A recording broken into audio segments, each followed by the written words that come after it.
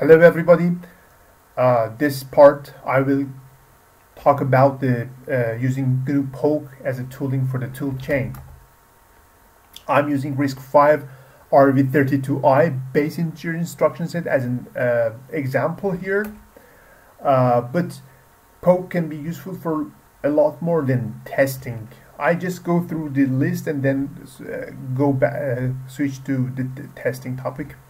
Uh, it's useful for documentation. You can document your extensions, your RISC-V ISA. You can use it for testing, which is the purpose of this talk.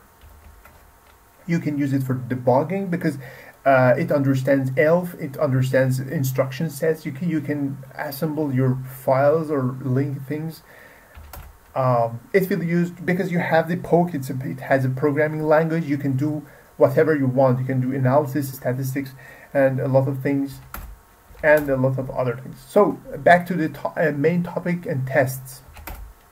Uh, we can use uh, uh we can test gas. Okay, gas can uh, we can test we can assemble an ELF file and compare it to what gas generated or we can just compare the .text section of the gas generated file with the reference which uh, is generated by the poke and you can ask about uh, questions about generated code, uh, all, like all, are all jumps PC relative?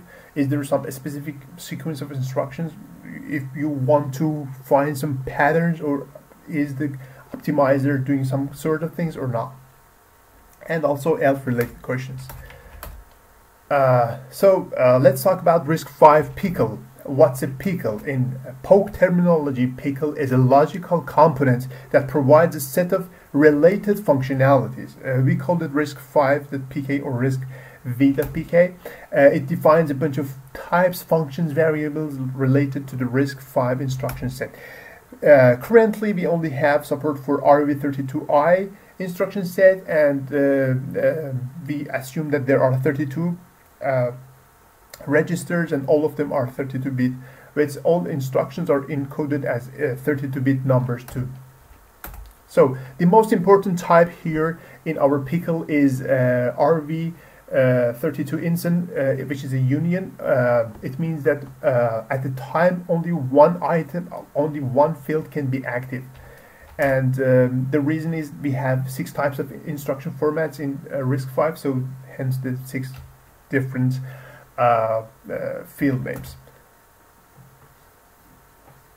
this is the this is a, a diagram from the specification. It's the R-type instruction.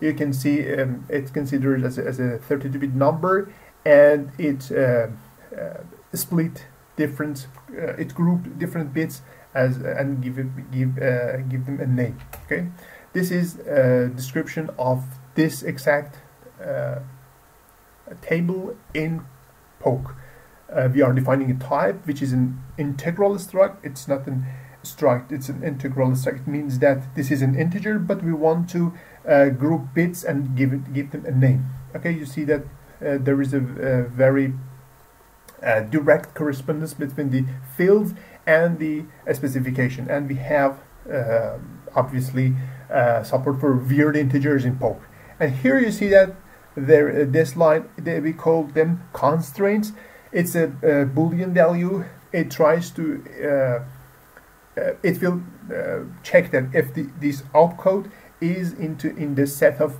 valid opcodes for the R type instructions.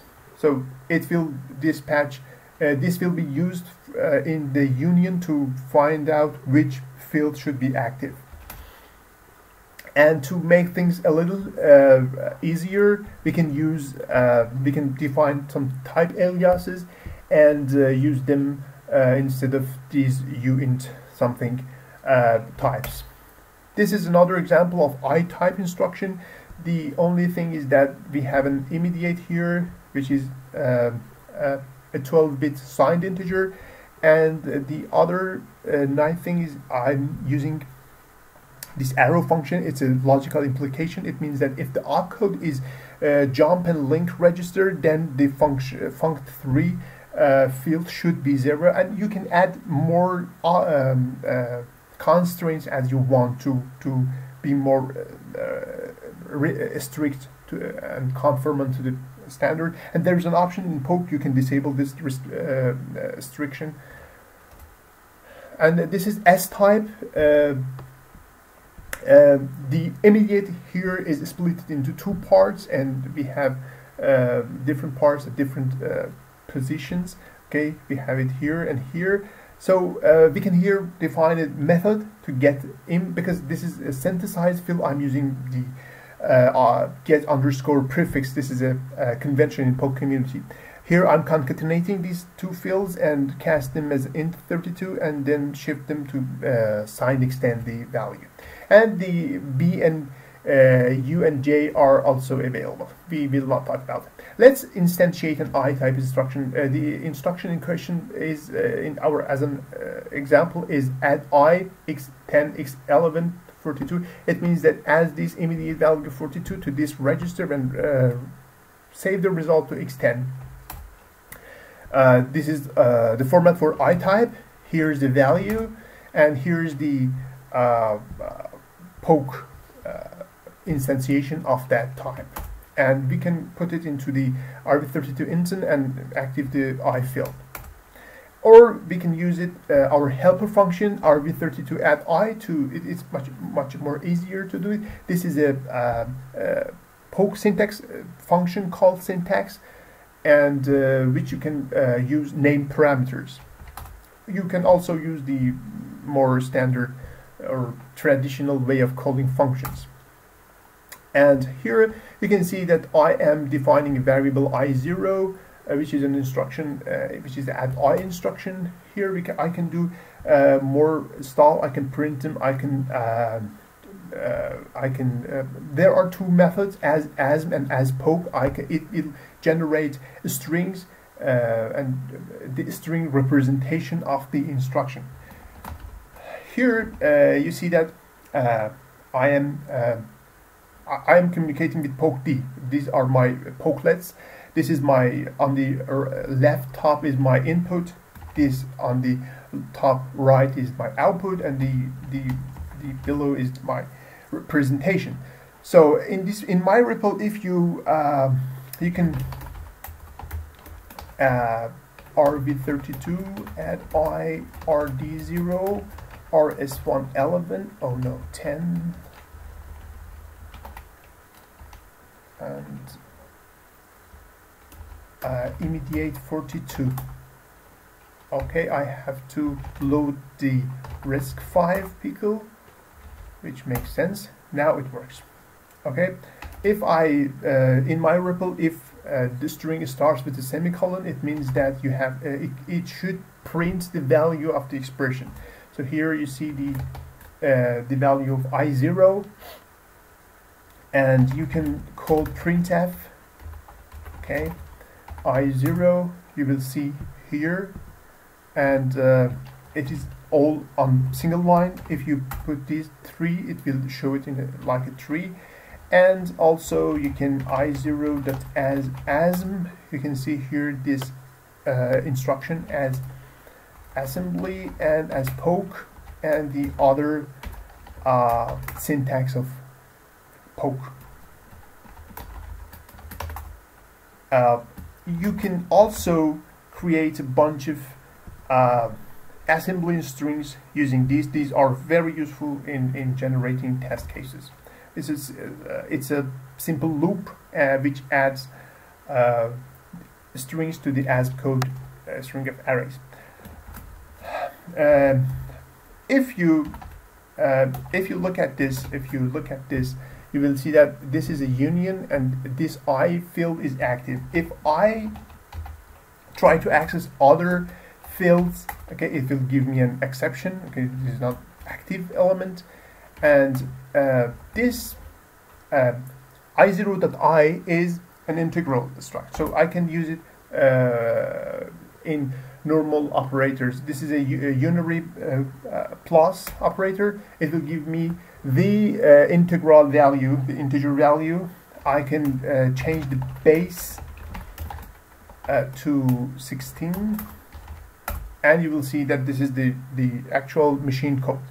uh, you can do much more like uh, you can also you can also use these numbers okay? And uh, what happened? 39 let me copy it again. As I can cast it as RV instance font I and it will it will show me the result. I cast a number to uh, an integral struct. This is possible, but uh, this is not possible because this is not an integral struct. It's a union. If you want that, you have to use mapping and others. So we can read more about them. So let's uh, test the gas. Okay, here I'm creating a bunch of uh, instructions. Okay, it's an array of instructions. I'm using this uh, for loop to create instructions. And here I'm going to save these instructions you see here into this uh, IOSpace, which is this file, the .bin, and I the, the type uh, is uh, an array of RV32 instance. So I try to execute it okay if you like. Uh, now I can go to my here files. You see the, the, the previous ls was the empty and uh, now I have this test one bin. If I open it with hexdump you will see it's a binary file. And uh, but the nice thing is that uh, you can disassemble this file using the objdump and you will see the exact same thing here you can see that uh, there is an li, it's a pseudo instruction. It means add i t, z, t6 uh, comma 0 comma 23. Um, I uh, just saved the the the the text section. Now I want to uh, save the assembly representation of my my instructions. You know, I loop over uh, my instructions here and save them as a string and put uh, put a new line at the end of each line. Okay? I executed the code and if I go here I see this test one dot as which is a, what we expect.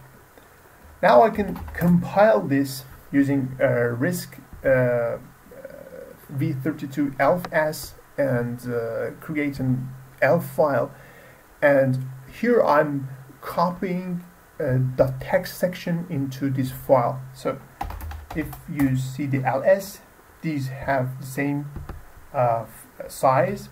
You can md5 sum them test bin. Both of them are the same file. Okay that's expected. We can use this to test um, the assembler. If there's a difference then we can use sdiff, which is a, um, a structure diff. It's a tool in Poke. You can uh, because uh, Poke knows about format, it can generate more uh, useful information, uh, use generate more useful diffs for you. Now uh, we saw that using objdump we extracted the text section and it, it was valid. Um, it was a valid uh, instructions. It was as expected. Now I want, as I told you, uh, Poke understands ELF. So here I'm going to uh, open that uh, ELF file that we just created and uh, interpret it as an ELF32 file and get uh, the, the text section and then we want to uh, understand the, the, get, get out the uh, section header offset and size of our that text section okay? I selected and executed. there's a problem here. Something happened and I don't know what uh, what was the problem. I solved the problem and I continue from the, the previous uh, section. Okay. Now I have let's see if uh, we can see this um, e text section let's first look at the e file okay we have used this. Okay this is the e file all these sections and uh, header and stuff. We can use the e text which is the text. Uh, it's a single uh, section, uh, this offset and this size. And okay, because I executed the x text off and size. Okay, we can extract the instructions